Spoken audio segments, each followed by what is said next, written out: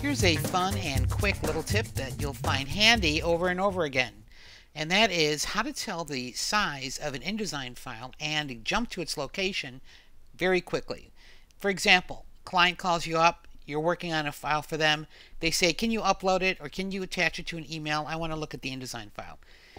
And you're like, well, okay, but I don't know, it might be kind of big. Well, how big is it? Well, you, you might want to go to the Finder or to Windows Explorer and hunt for it there and then select it and see what the size is, but you can do so right here from within InDesign.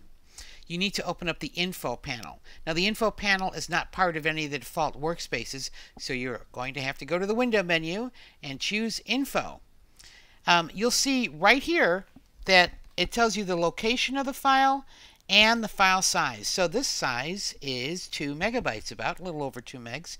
Now you might not see this information if you have any other tools selected. For example, I just switched to the type tool and you're like, I know Anne-Marie said that there was a tip here, something having to do with the file size, but I'm not seeing it.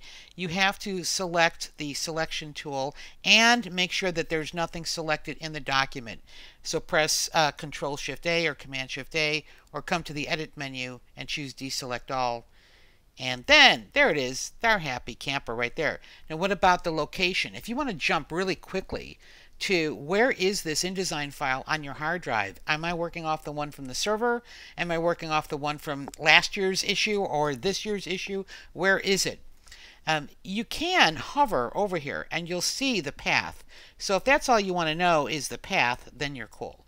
But if you actually want to go to that file, uh, you can't do it from here. You can't right click here and nothing happens, unlike, say, the links panel, where if you have a placed image, uh, you can often right-click and jump uh, and get an option to reveal in the Finder or Explorer and reveal in Bridge.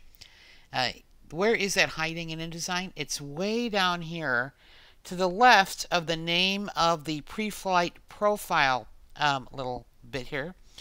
This little circle with the page in it, click there. I know it's really easy to miss. But there you'll see Reveal in Finder or Reveal in Bridge. And I select that and it jumps me right to the Finder and there I am in uh, my folder. So there you go. You can find out immediately right from within InDesign the size of your file and jump to its location, not have to hunt and peck throughout your hard drive to do so.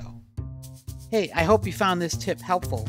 Be sure to check out InDesignSecrets.com for thousands of InDesign articles, to listen to our podcast, and to download a free sample issue of our monthly magazine called InDesign Magazine. Thanks for learning with us.